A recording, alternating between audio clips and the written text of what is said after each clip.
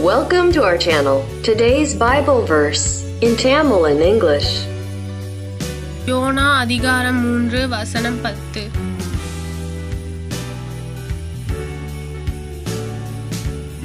அவர்கள் தங்கள் பொல்லாத வழியை விட்டு திரும்பினார்கள் என்று தேவன் அவர்களுடைய கிரியைகளை பார்த்து தாம் அவர்களுக்கு செய்வேன் என்று சொல்லியிருந்த தீங்கை குறித்து மனஸ்தாபப்பட்டு அதை செய்யாதிருந்தார்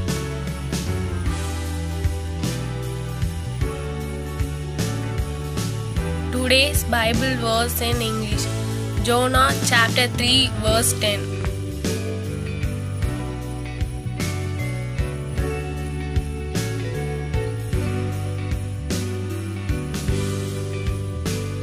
When God saw what they did and how they turned from their evil ways, he relented and did not bring on them the destruction he had threatened. Amen.